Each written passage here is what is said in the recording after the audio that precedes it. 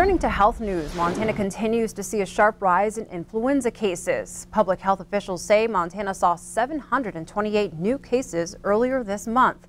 Those numbers are up from just under 500 the previous reporting period. Since the start of the flu season, there have been more than 2,200 confirmed cases, 124 hospitalizations, and three deaths, including a child. Five counties, including Yellowstone, have seen more than 200 confirmed cases. Uh, we're still giving flu shots now. Uh, it's still highly recommended. The season doesn't, nowadays, doesn't seem to end until April or May. Uh, so it's, it's worth it to come and get protected. Only four counties in Montana have not reported any cases of the flu this season.